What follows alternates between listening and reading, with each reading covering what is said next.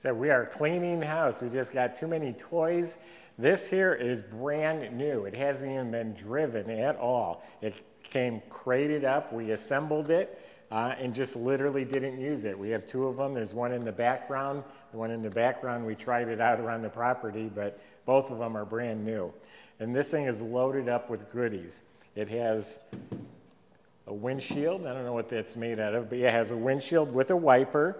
Uh, it has the extra rack in front to store some goodies. Big giant uh, push bumper, that's an option. You can see it has independent front suspension with coil-over adjustable shocks. It has rack and pinion steering. The nubs are still on the tires. The fenders turn with the tires, kind of like a prowler. Painted a beautiful metallic blue. Um, four passenger. This is fantastic. There's so many golf cart friendly communities now.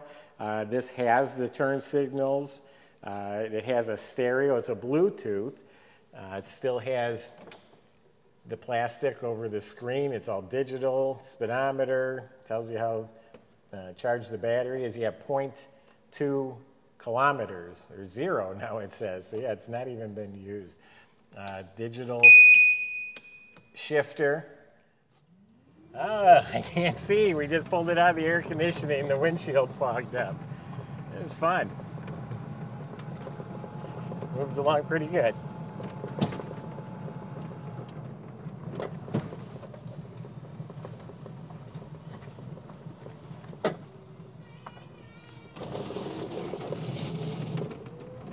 And I'm gonna put it right back inside. Has a nice looking steering wheel. They even went as far as putting fake steering wheel controls, but it's a nice wheel. This seat is adjustable. It slides back and forth. Uh, we have seat belts, really nice indoor, outdoor type, you know, durable material, nice, comfortable seats. Has uh, padded armrest cushions. Back seat is the same. I'm sorry, it's dusty. There's even a bird poop there. These were in our warehouse. Um, we're just cleaning house, and I just don't have time to go and wipe it down. That's literally what this needs, a 15-minute wiping down. Uh, check out the wheels, nice alloy wheels. None of this is corroded or pitted or scratched. It just needs to be wiped down. Has padding up here so you don't bump your head getting in and out. An optional rear luggage rack that folds up. Optional rear bumper tail lights and turn signals. They look like they're LED lights. That's the electric motor right there. That coil over shocks and back, it looks like. A rack up on top. I think the roof is optional, plus this has the rack in addition to that.